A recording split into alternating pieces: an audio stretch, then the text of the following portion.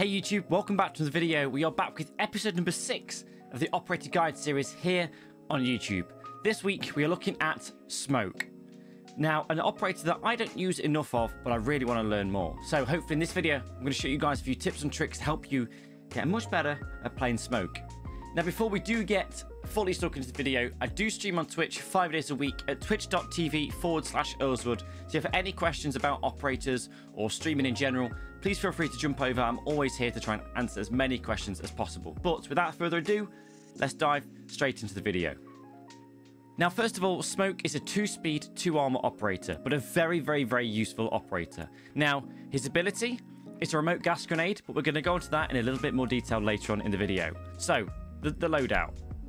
Now, Smoke has the FMG-9 SMG and my favorite weapon, the M590A1 shotgun. Now, both weapons are very, very useful for Smoke as an operator. I personally normally rock the shotgun because I just love to get the close quarter plays with the shotgun and hold new angles. But if you're looking for more of a, a further back approach or more of a roamer approach, you can rock the FMG-9 SMG. Both weapons are very, very useful. The loadout that I use with both weapons I rock the Reflex, the Flash Hider for the FMG9. And then with the shotgun, I use the holographic and a laser sight. Just, just for the memes, to be honest. Moving down into the secondary, we have the, the P226 pistol and then the SMG-11 SMG. So you could rock two SMGs, but the reason that what I personally go with a shotgun as the primary is because I have the SMG-11 as a secondary. So I'm not losing out massively with kind of range because I can easily flick to the SMG-11 and kind of fight people from a longer distance compared to my shotgun. Again, just figure out how you want to play. Everybody plays operators their own sort of ways. If you want to rock double SMGs, you're more than welcome to. If you just kind of do the first burst with the FMG and, and you miss, quickly flick to the SMG and you're good to go. But my personal preference is shotgun as the primary and the SMG-11 as the secondary. Now moving down into the gadgets, Smoke has the barbed wire and the deployable shield. Again, both options are very, very useful. You can use the deployable shields to kind of slow enemies breaching into sites and kind of counter them because that is what Smoke is all about. Now, kind of sliding into Smoke's role and purpose within the team, he is used to delay enemies pushing into sites and to slow enemies down. Now, the remote gas grenades, they're not aimed to kill people. They are simply aimed kind of slow people down, to allow your teammates to hold new angles, rotate backgrounds onto sites, and wait for teammates to push in to take out enemies. So the gas grenades, as I say, aren't meant to kill people. Yes, you can get some you get you can get kills to them if the enemy is low.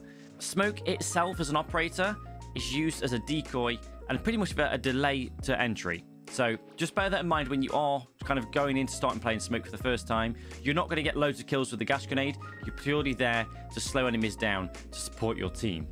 So Smoke as a whole can be classed as a kind of an entry denial operator. So com combine Smoke with operators like Frost or Kapkan, Smoke can be incredibly useful for your team.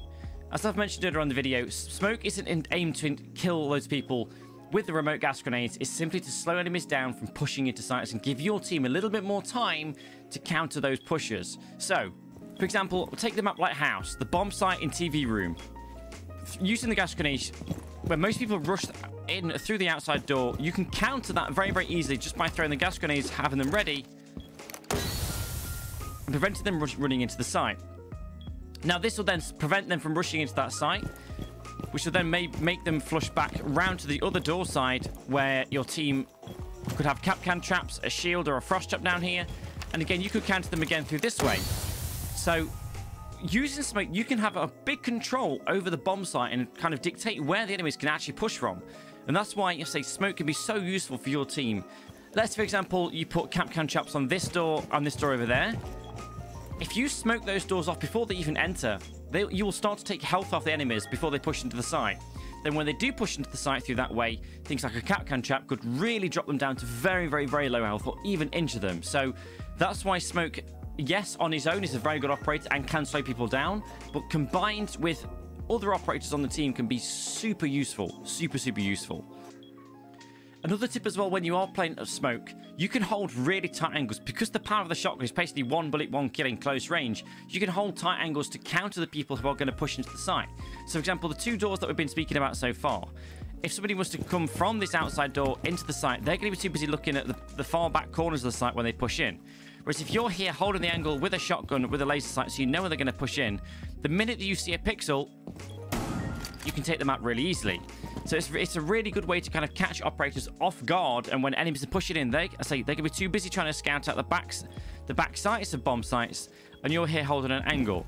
You can do the exact same in this doorway as well. As I've mentioned, enemies pushing in from the outside are going to be looking at the back corner behind pool table in the other site, looking in the back corner behind bomb site, which is normally a common place to hide, and also the back corner behind piano. So they're going to then push in when they think those areas are clear. However, you're then stood here waiting for the shotgun.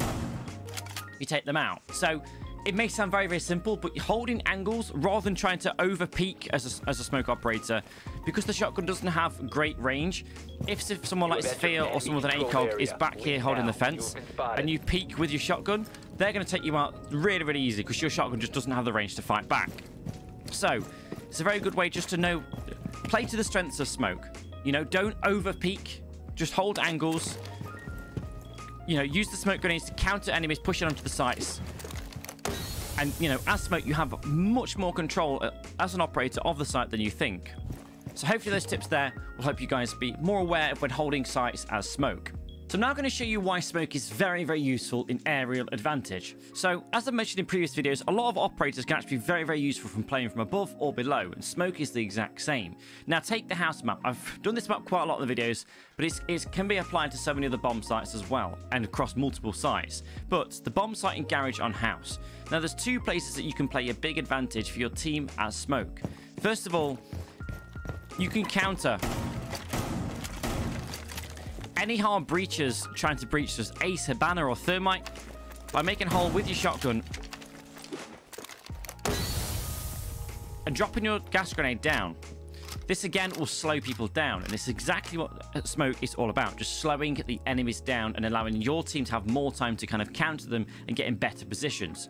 So, not only that as well, another way you could counter them from slowing them down is to enter here.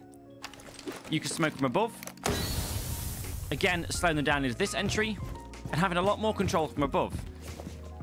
So two very easy angles that you can use as smoke to prevent enemies from pushing in and breaching in as well. And even if they did use operators like uh, Ace or Hibana and they breach from a further, further angle back here and they get rid of the wall, again, you can still slow them down entering by dropping another smoke grenade and pushing them in. So even if that wall is taken down quickly, you can then counter them and slow the entry down by dropping another gas grenade down. So it may sound very, very simple, but it can be used very, very, very effectively and make a big difference to your team and just slow enemies down. I feel like I've said slow enemies down a lot, but that's what smoke is all about. Next tip. Now, a very sneaky way to play smoke is actually from underneath. So not everybody has to play from above, and not everybody expects operators to be below when breaching into sites. Take the bomb site and master bedroom on house. There's two very, very useful ways that you can play smoke right here. The first one, we are going to play and create an angle underneath this doorway right here. And another one is going to be underneath this door, this window frame right here. So, the first thing you're going to do is just clear out and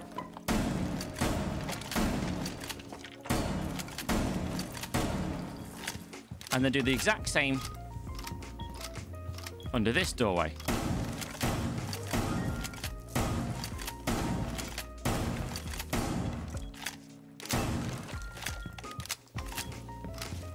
So a very, very easy angle that you can hold right here is under here. So when people breach that wall, which is normally reinforced on that bomb site, you could counter them if they do remove that wall by throwing a quick smoke grenade and counter them pushing in. The exact same for this window. So they this normally is a way where they push in if that other door is reinforced. They will take out this window and then push into sites. Again, the exact same way. Throw the gas grenade below the window and it'll slow them down as well and take damage off them. So two very simple ways that you can use to kind of play below. Not many people will expect you to be below the bomb site. You can catch so many people off guard and I've done this trick, I can call it, many times and you can counter people very, very easily. So not only that, of kind of using the gas grenade below, you can actually take them out with the shotgun as well. So if they do, the minute you see a pixel or somebody jumping into the site, one bullet, taking them out. And the exact same way in this way as well. So you don't have to just use the gas grenade below. You can also use the actual shotgun. And this is why I recommend using the shotgun because you have so much control and you're able to catch so many people off guard using the shotgun and playing from above. So try it. Give it a go. Let me know if it works. But hopefully the tips in this video helped you guys understand a bit more of how you can play Smoke and help your team a lot better. Say Smoke is more of an entry denial operator, kind of combined with Frost and Kapkan. If you do play Smoke on, his own, it's still a very, very useful operator. But as I've said in this video, if you do combine it with Frost or Kapkan, it can be very, very, very useful as well. I personally would recommend the shotgun and the SMG loadout. Mess around with it, see what you guys like, and hopefully you have picked up a few tips and tricks as well on, along the way. If you have liked the video, please don't forget to leave a like on the video. It massively helps. And if you wouldn't mind, click the big red subscribe button below because we are on the way to 4,000 subscribers right now. So a massive, massive thank you. If you have any feedback as well on how I can improve these videos or you want to see some future things in the next videos, please let me know because I would really appreciate any feedback as well. Guys, thank you so much for taking the time out to watch this video. It really does mean the world. Until next time, stay awesome. I'll see you in the next video. Roll the tape.